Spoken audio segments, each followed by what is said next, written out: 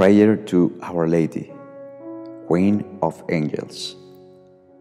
August Queen of Heaven, Sovereign Queen of Angels, you who at the beginning received from God the power and the mission to crush the head of Satan, we beseech you humbly.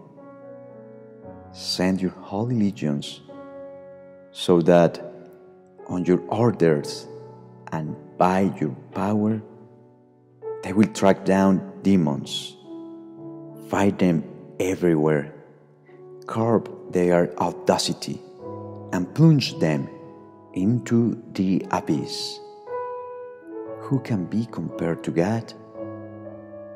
O good and tender Mother, you will always be our love and hope. O Divine Mother, send the holy angels to bring prosperity. I keep for my life, my employment, business, or family the evil enemy. Holy angels and archangels, defend us and protect us. Holy angels and archangels, deliver us from destructive spirits and from ruin. Amen.